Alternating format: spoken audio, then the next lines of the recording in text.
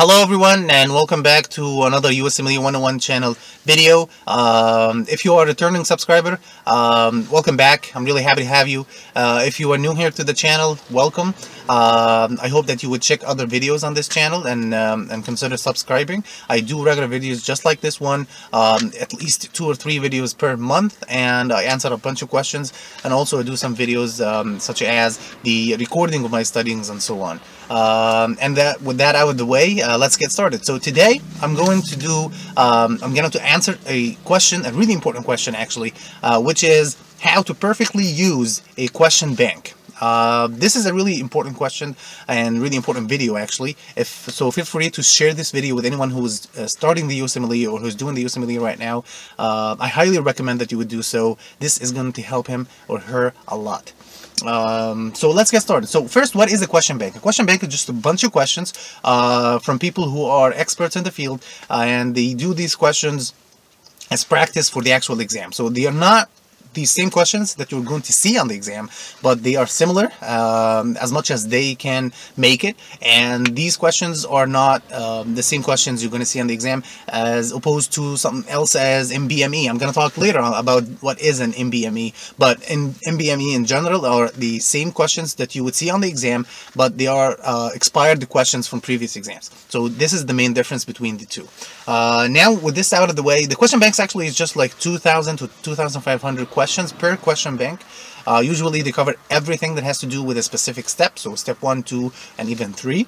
Um, and that's that's what a question bank is. When this out of the way, now let's know what uh, the uh, uh, types of question banks that you were going to see or the names of the question banks that you're going to see um, uh, in general.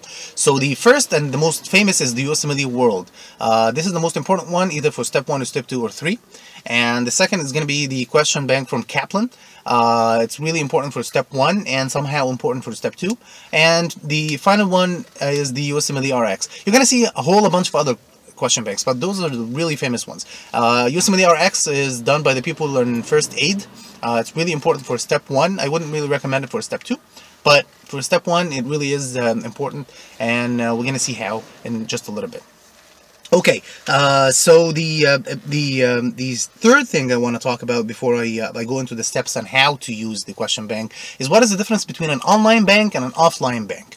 Okay, so an online bank is the question banks that is intended for use in general. This is just the actual uh, question banks that you are uh, uh, that you can subscribe to online. Uh, and um, I'm gonna drop a link in the description for all the question banks that I just talked about and how to subscribe for it if you would like. Uh, they have a bunch of subscription plans for one month, two months, and and so on. And it differs. Sometimes it's from like eighty dollars to maximum of like 300 400 dollars. Depends on the time and the question bank that you are subscribing to. Uh, but that's an online bank, just the actual bank that you're going to do. An offline bank, in contrast, is just a um, uh, somebody who actually did the online bank and he took like screenshots of the questions and put it in a PDF file so other people can use it without paying the subscription fees. Uh, of course, this is unethical. Uh, sometimes the, um, uh, the the person who's doing that gets caught and the subscription plan is uh, terminated and so on. But I I think it helps sometimes. I know it's unethical and everything, but some people, especially from countries like mine or um, other countries who are not in a good financial situation, uh, they can't really buy these subscription plans and uh, they use it to do uh, good things in the end. So um, the ends doesn't justify the mean, but you know what I mean. So that's an offline bank, and we're going to see how you can use it um, um, during the steps that I'm going to talk about as well. Okay, so that's uh, out of the way. Now let's talk about the steps on how to approach it. Okay, so what is the question bank that you should use and when should you use it? Okay, if you're doing step one, let's talk about step one first. If you're doing step one, the question bank that you should be using first is going to be either the question bank from Kaplan or USMLE RX. And you should use these questions as subject-wise questions. Uh, so you are going to answer the questions from a specific subject that you have just studied. So you study uh, a specific subject. Let's say you're going to study physiology and you're going to study the cardiac physiology. And after you're done, you go to the question bank, either this or that, the question bank from USMLE RX or the question bank from Kaplan, and you answer the specific questions related to the part that you just studied. This is really important because it will help you retain the knowledge that you just studied and at the same time it's going to help you to practice what is uh, uh, how the questions for that subject that you just studied are going to be on the exam. So this is really important. After you're done with all of this, you're going to be done with the question bank, say USMLE RX or Kaplan. Uh, at the end, you're going to do the USMLE uh, uh, step one for the USMLE world, and uh, you're going to do it random and timed and everything and this is going to be later on after you're done with studying everything in that uh, area.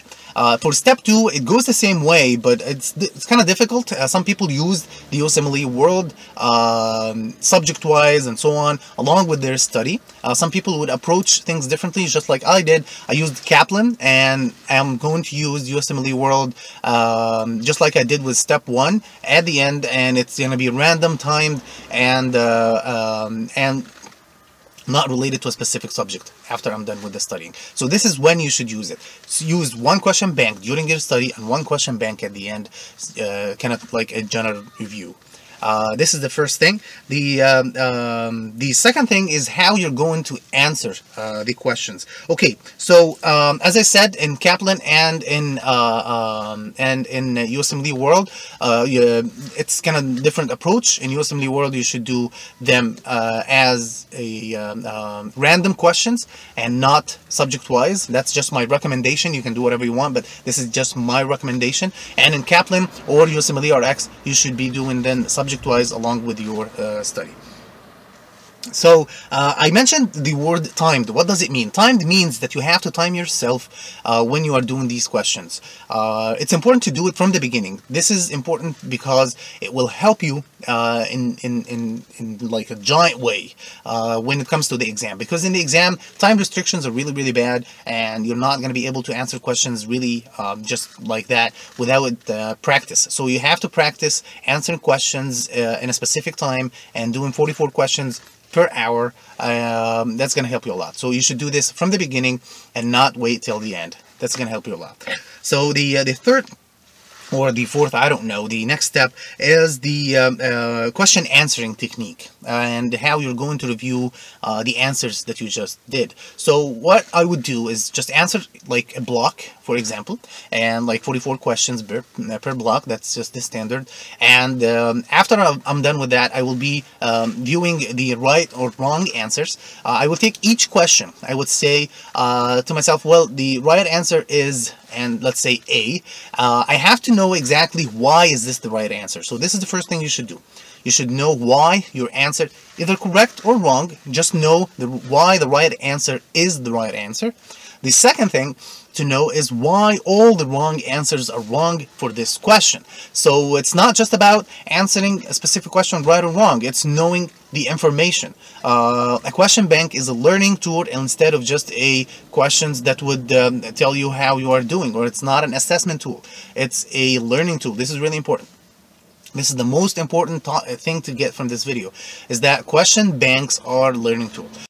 You're gonna know from the beginning, um, start with knowing the why the right answer is right, why the wrong answer is wrong, and when can these wrong answers be right in a different question. Uh, this is really important because it will help you answer other questions and it's kind of like answering one question would qualify as answering five different questions. This is really important and that's what I would do. Um, now, I, have done the question, I've uh, reviewed the answers and so on. Uh, what next should I do? The next important thing is to annotate your answers uh, or the important information that you got from each questions. Uh, for each question, the uh, let's say the first um, question I got uh, the right answer and um, the information I know already from the book, but I found a piece of information in the other questions that are not in the book that I'm reading. So I took that information I wrote it down either on a piece of paper or inside the book that I'm reading and I had that saved uh, in the area uh, that is related to it inside the book.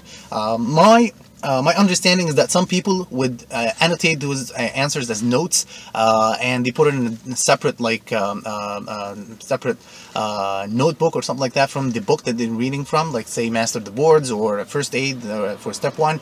I highly recommend that you would do something differently. You would take those answers or the piece of information you got from the question bank and you put it in the area where you have deficient information in the book. So in master the boards if I have a question in cardiology, for example, and um, I see a new piece of information, I would write it down in the area where it belongs in the book or where I think it should be in the book, um, um, either first aid or again, um, master of the boards. Uh, this would help you a lot to have at the end a giant book with a lot of annotations uh, to read from and it's going to be kind of like a concised uh, USMLE curriculum and this helps from, um, a lot from from my perspective from my experience in step 1 and in step 2 CK so that's how it, uh, it will be. Uh, at the end I will just want to say just general notes uh, uh about what I said before. Uh, it, you can do some kind of like uh, saving the um, um, that's what I did in step one. I saved all the images or all the pathology slides and all the illustrations that uh, USMLE World had. Um, that that would help a lot. Just save it and at the end you can review it all together. This will help a lot also if you are doing the um, step one or step two you will have some questions that has some media in it. Uh, usually they have to do with heart sounds and lung sounds and examinations and so on.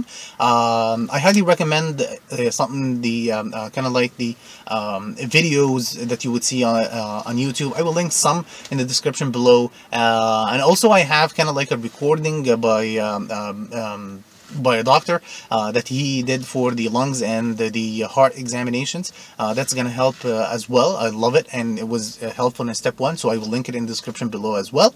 And um, finally, if you are uh, if you are not doing any question banks if you just need some practice uh, in general before the exam or in any time at all there are some um, um some questions that the NBME put it for free for everyone just practice questions. I don't know like they are like 150 questions. Um, it's not important that you get these questions right or wrong. The um, the main benefit is to practice for the exam and to be familiar with the software that you're going to see on the exam. This is really important. So if you are not doing anything just do this at least. This is the um, I'm sorry for this this is the least uh, uh, that you can do uh, to practice for the exam all right, I um, I hope I um, I answered some of the um, uh, the questions that you might have had. Uh, if you have any other questions related to the question banking and um, and how to answer them, uh, please write it down in the comments below. Feel free to subscribe to the channel and to um, to leave a thumbs up on the video and share it with friends and share it with people who might benefit from this. Um, and um, this has been the USMLE 101 channel, Ahmad Rodwan, and I'll see you in the next one. All right, bye bye.